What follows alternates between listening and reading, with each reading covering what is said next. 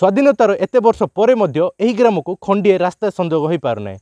ପ୍ରଶାସନ ନିକଟରେ ଗ୍ରାମବାସୀମାନେ ବହୁ ବର୍ଷ ହେଲା ଦାବି କରି ଆସୁଛନ୍ତି ନିଜର ସମସ୍ୟାକୁ ସମାଧାନ ନିମନ୍ତେ କିନ୍ତୁ ଏବେ ପର୍ଯ୍ୟନ୍ତ ସମାଧାନ ହୋଇପାରିଲାନି।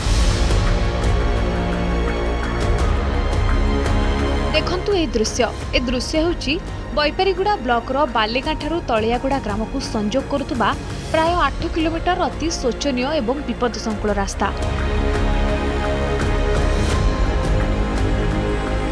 ଏହି ରାସ୍ତା ଉପରେ ତିରିଶରୁ ଉର୍ଦ୍ଧ୍ୱ ଗ୍ରାମର ଗ୍ରାମବାସୀ ଯାତାୟାତ ପାଇଁ ନିର୍ଭର କରୁଛନ୍ତି ଏବଂ ଏହି ରାସ୍ତା ଦେଇ ସ୍କୁଲ ଓ ଅଙ୍ଗନବାଡ଼ି ପିଲେ ଯାତାୟାତ କରୁଛନ୍ତି ଏହି ରାସ୍ତା ଦେଇ ଆମ୍ବୁଲାନ୍ସ ବି ଯାଇପାରୁନି।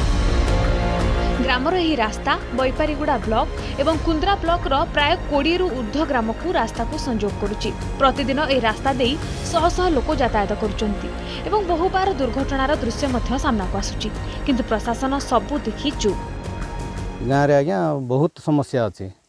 ଗୋଟେ ନାହିଁ କି ଦୁଇଟା ନାହିଁ ଆମର ଗାଁରେ ଏବେ ପର୍ଯ୍ୟନ୍ତ ଦେଖନ୍ତୁ ଏ ରାସ୍ତାର କ- କଦର୍ଯ୍ୟ ସିସି ରାସ୍ତା ବି ଖଣ୍ଡେ ନାହିଁ ଏ ରାସ୍ତା କେନ୍ଦୁଗୁଡ଼ା ଆମେ ବୈଭରଗୁଡ଼ା ବ୍ଲକରେ ଯାଉଛୁ ଯେଉଁ ପ୍ରକାର ଅବସ୍ଥାରେ ଯାଉଛୁ ସେଇଟା କହିଲେ ଆଉ ସର୍ବ ନାହିଁ ଆଜିକି ପ୍ରାୟ ସ୍ୱାଧୀନ ହେଇକରି ଅଶୀ ବର୍ଷ ହେଲେ ସୁଦ୍ଧା ମେଟାଲ ରାସ୍ତା ବି ଖଣ୍ଡେ ପଡ଼ିପାରୁନି ଆମର ଗାଁରେ। ସ୍ୱାଧୀନତାର ପଞ୍ଚସ୍ତରୀ ବର୍ଷ ପରେ ମଧ୍ୟ ମାନେ ଉଚିତ ରାସ୍ତା ଟିକେ ପାଇପାରୁନାହାନ୍ତି ଇଲେକ୍ଟ୍ରିସିଟି ପାଇପାରୁନାହାନ୍ତି। ରାସ୍ତା ମୁଁ ଦେଖୁଥିଲି ମାନେ ଲୋକ ଚାଲିବାଟା ତ ବଡ଼ ମାନେ ଗାଈଗୋରୁ ବି ଚାଲିପାରିବେନି ସେମିତି ରାସ୍ତାରେ।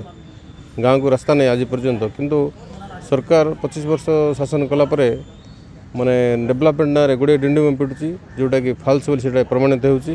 ବୈପାରିଗୁଡ଼ା ବ୍ଲକ ତଳିଆ ଗ୍ରାମର ରାସ୍ତା ସମସ୍ୟା ସହ କିଟକିଟ ଅନ୍ଧାରରେ ଜୀବନ ଅତିବାହିତ କରୁଛନ୍ତି ଗ୍ରାମବାସୀ। ଗ୍ରାମରେ ଦୁଇ ମାସରୁ ଉର୍ଦ୍ଧ୍ୱ ସମୟ ହେବ ଅଚଳ ହୋଇପଡ଼ିଛି ଟ୍ରାନ୍ସଫର୍ମର ଗ୍ରାମବାସୀ ବିଦ୍ୟୁତ୍ ବିଭାଗକୁ ବହୁବାର ସମସ୍ୟା ଜଣାଇବା ପରେ ବି ମିଳୁଛି ତ କେବଳ ପ୍ରତିଶ୍ରୁତି। ଆମେ ବୈପାରିଗୁଡ଼ା ବିଦ୍ୟୁତ୍ ବିଭାଗୀୟ ଅଧିକାରୀଙ୍କ ସହ ଯୋଗାଯୋଗ କରିଥିଲୁ ଏବଂ ବିଭାଗୀୟ ଅଧିକାରୀ କହୁଛନ୍ତି ଖୁବ୍ ଶୀଘ୍ର ନୂଆ ଟ୍ରାନ୍ସଫର୍ମର ଲାଗିବ। ଲିଖିତ ଆକାରରେ କହିଲେ ବି କେହି ଶୁଣୁନାହାନ୍ତି। ଆମେ ଯାଇକରି ଡାଇରେକ୍ଟଲି କଣ୍ଟାକ୍ଟ କଲେ ବି କୌଣସି ପ୍ରକାର ଅଧିକାରୀ କିଏ ଶୁଣୁନାହାନ୍ତି। ଉଲ୍ଟା ଆମକୁ ଧମକ ଦେଉଛନ୍ତି କିନ୍ତୁ ତାଙ୍କେ ଶୁଣିବା ପାଇଁ ନାହିଁ। କୌଣସି ସୁବିଧା ନାହିଁ। ଆମର ଗାଁରେ ରାସ୍ତା ନାହିଁ। ଆମର ଗାଁ ଗୋଟେ ଦ୍ୱୀପ ଭଳିଆ ଗାଁ।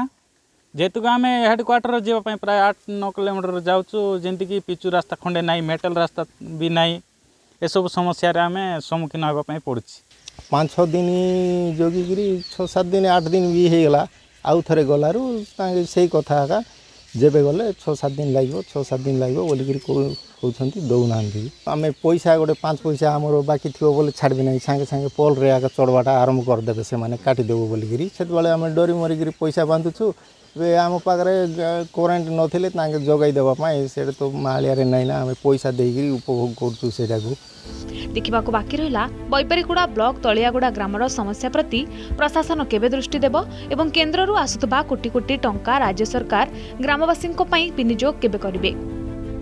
କୋରାପୁଟ କୋଟପାଡ଼ରୁ ବୀରକିଶୋର ଶର୍ମାଙ୍କ ରିପୋର୍ଟ ଅର୍ଗସ୍ ନ୍ୟୁଜ୍।